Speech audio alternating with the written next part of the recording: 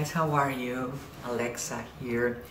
Um, so today I want to make a video to answer some of the questions that I got um, either um, by messenger or um, in my profile.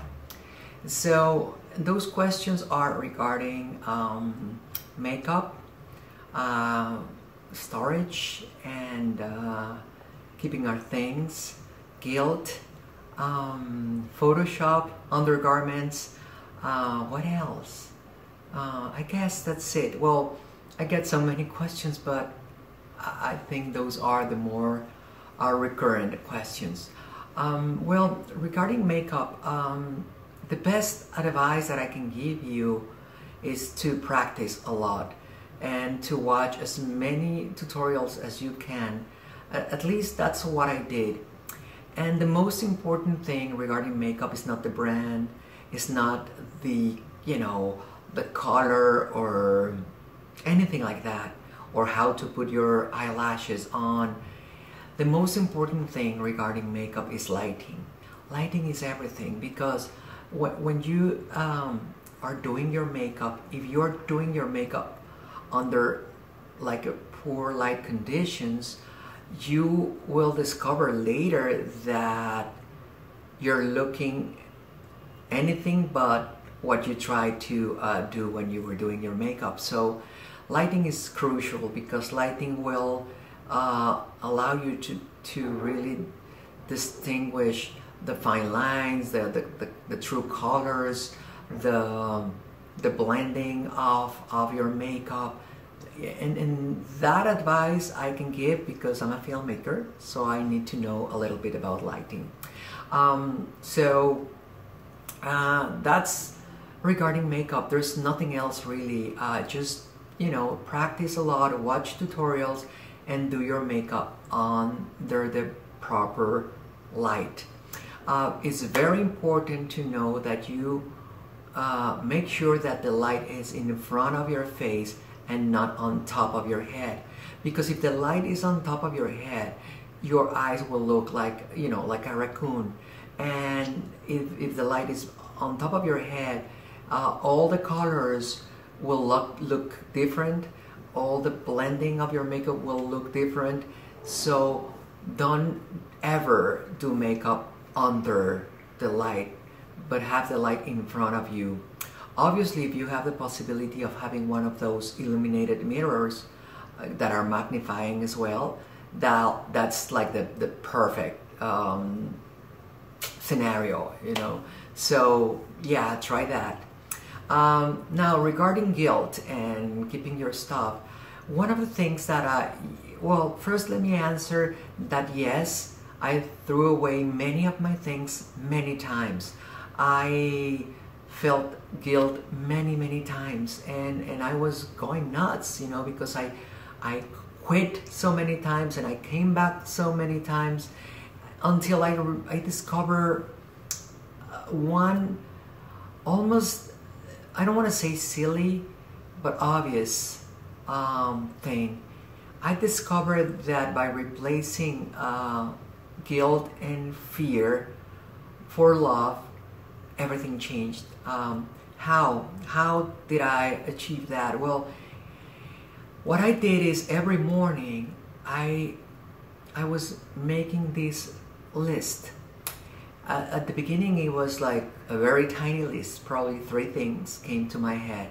But every morning, I decide, you know, I decided to create a list where I will write down all the positive things about Alexa and uh, all the good things that are in Alexa and that that come from Alexa. So I start, you know, I started making that list, and uh, and little by little, I realized that Alexa was love, was understanding, was compassion, was caring, was smiles, was great sex, was many positive things. And and by doing that I felt amazing. And uh, and the more I love myself the more I embrace you know Alexa. And and that's the way I I changed completely, and uh, because the true change, the true connection with with your feminine side, with your beauty, inner beauty, the, the beauty that really matters. Uh, the true connection comes from love. There's no other way. It doesn't come from, you know, getting a boob job or, you know, or butt implants or uh, taking hormones or doing, uh, you know, your, your nose or having a tiny waistline, whatever. You know, it doesn't come from there. The true feminine side comes from love. That's it. There's no other answer to that. So that's why many people live their lives frustrated because they try to physically uh, change their emotions and and that's impossible and it's a waste of time and it's a waste of money and it's a waste of beautiful energy. So for me was learning to love. Not only myself but learning to love. Learning to recognize love in me. Learning to recognize love in others. Learning to recognize love in in everything. And that's that's the way i was able to replace all that guilt and all that fear for love and for great moments like this. So for me, that was my solution for guilt. Um, so don't throw away your things. And how to keep your things away from your wife if she doesn't know, or your girlfriend, or whatever the case might be, or your family. For me, my solution was a storage unit. Uh, I know some people can't afford a storage unit. They're not too expensive here, but but if you have other friends that are sharing, you know, this lifestyle with you, you guys can, you know, share the, the expense of, of the storage unit. And uh, and just that way uh, don't you know get rid of things that that you like and uh, that you enjoy. So for me that was my solution a, a storage unit and fortunately I'm able to keep it for you know only for me exclusive so I get to do naughty things in that storage unit. Um, okay so next topic um, da, da, da, okay Photoshop and undergarments. You know what? Um, there's nothing wrong with doing Photoshop and there's nothing wrong with wearing compression undergarments um, the question of some person uh, was if I was doing Photoshop on all my pictures and if I was wearing undergarments to to look skinny or to look more curvy or you know whatever. Um, no, you know I don't, and it's not. There's nothing wrong with that, as I said. Um, but I decided just to work out and to work hard to look uh, better for myself.